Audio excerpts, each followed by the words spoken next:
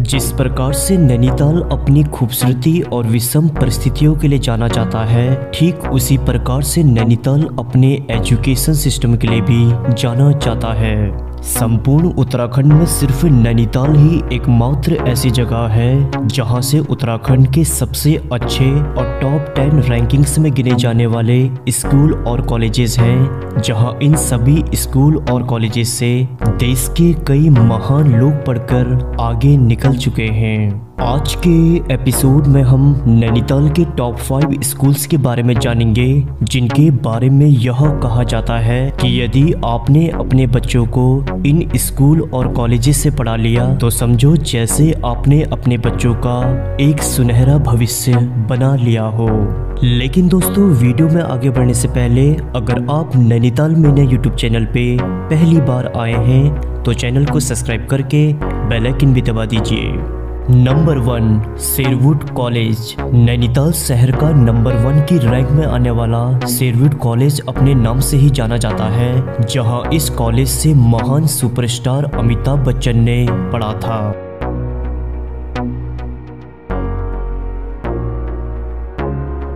Sherwood college के लिए एक बात बेहद प्रचलित है कि यदि किसी ने अपने बच्चों का एडमिशन शेरवुड कॉलेज में करा दिया हो तो यहाँ से पढ़ने के बाद उनके बच्चे मेजर कर्नल और विदेशों में साइंटिस्ट और इंजीनियर बनते हैं। शेरवुड कॉलेज का निर्माण अठारह में ब्रिटिश अंग्रेज़ों ने ही किया था, तब इसका नाम यूरोपियन डाइसन बॉयज़ स्कूल हुआ करता था। आज भी अमिताभ बच्चन जब भी नैनीताल आते हैं तो वे इस स्कूल में ज़रूर जाते हैं। इसी के साथ साथ इस स्कूल में कई सुपरस्टार समय समय में आते रहते हैं, जिनका वेलकम यहाँ की स्कूल कम्युनिटी करते रहती है। Once again, greetings from the home base. Last year, I had the honored privilege of being applauded by you. But, sir, what I feel now is that my aspirations, your aspirations, are yet not achieved. We have All Saints college जब अठारह के समय Sherwood college की स्थापना चल रही थी, तब उसी के समकालीन ऑल सेंस कॉलेज की भी स्थापना हुई। नैनीताल का यह इंग्लिश मीडियम गर्ल्स स्कूल अपनी बेहतर पढ़ाई और एडवांस एजुकेशन सिस्टम के लिए जाना जाता है। लड़कियों के लिए बना यह एकमात्र ऐसा कॉलेज है, जो संपूर्ण उत्तराखंड का रैंक वन लिस्ट पर आता है। यहाँ से पढ़ी हुई लड़कियाँ आज यूएसए में जॉब करते हुए नज़र आती हैं और आज इस स्कूल से पढ़ी हुई वो तमाम लड़कियाँ आज अच्छे खासे गवर्नमेंट जॉब पर कार्यरत है। नैनीताल शहर के सेडवुड कॉलेज और ऑल सेंस ये दोनों बॉयज़ और गर्ल्स स्कूल नंबर वन पर हैं, जिनमें सबसे अच्छी बात यह है कि ये दोनों स्कूल क्लास थर्ड से लेकर बारह तक की एजुकेशन को इंस्टॉल्ड रखते हैं। यहाँ क्लास थर्ड में पढ़ा हुआ बच्चा जब बारहवीं में इन दोनों कॉलेज से बाहर निकलता है तो फ्यूचर इनके हाथों में होता है। नंबर टू बिड़ला विद्या मंदिर। बिड़ला विद्या मंदिर जो नंबर टू की रैंक में आने वाला एक इंग्लिश मीडियम स्कूल है, जो अंग्रेज़ी शासनकाल में फिलेंडर स्मिथ कॉलेज के नाम से जाना जाता था। इसका निर्माण कार्य 1870 में हुआ था, जहाँ इसी स्कूल से महान हंटर जिम कॉर्बेट ने भी पढ़ा था। इसी के साथ नंबर टू में सैनिक स्कूल घोड़ाखाल भी आता है, जो कि भवाली के घोड़ाखाल में स्थित है। सैनिक स्कूल घोड़ाखाल अपने अनुशासन और बेहतर स्टडी के लिए जाना जाता है, जहाँ यहाँ से पढ़े विद्यार्थी, इंडियन आर्मी और फोर्सेस में अपना नाम कमा रहे हैं। Number three Saint Joseph college.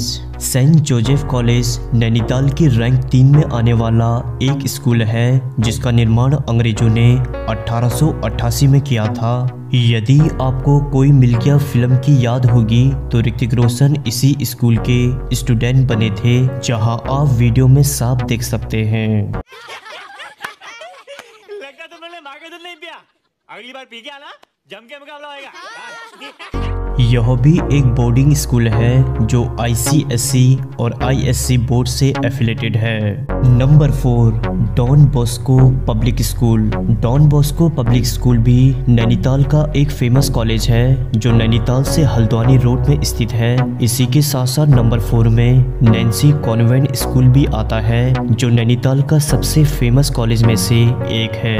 Number five Saint Xavier school Saint Xavier school, जो कि सीबीएसई बोर्ड से एफिलेटेड है, यह नैनीताल की आयरपाटा वाली रोड पर स्थित है। Number six, Saint Mary convent school. Saint Mary convent school की स्थापना 1878 में मदर सालिसिया ने की थी। यह स्कूल गर्ल्स बेस्ड है, जिसे पहले वेलिचेली गर्ल्स स्कूल के नाम से जाना जाता था। अभी यह रेमनी पार्क में स्थित है, जिसे अक्सर लोग रेमनी स्कूल से भी बुला लेते हैं wish to be there.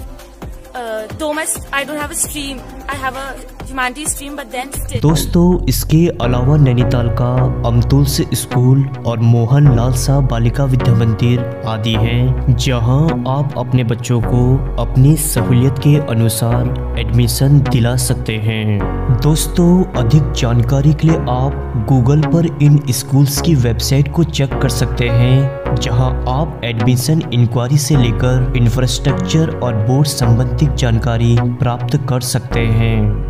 ऐसे ही नैनीताल और उत्तराखंड की महान गाथाओं को जानने के लिए आप नैनीताल मेनिया यूट्यूब चैनल को सब्सक्राइब करें, ताकि आगे आने वाली वीडियो से आप निरंतर अपडेटेड रह सकेंगे। तो दोस्तों, आज के एपिसोड में बस इतना ही। मैं हूँ आपका दोस्त संदीप। फिर से मिलेंगे एक नई एपिसोड में। तब तक के लिए नमस्कार दोस्तों।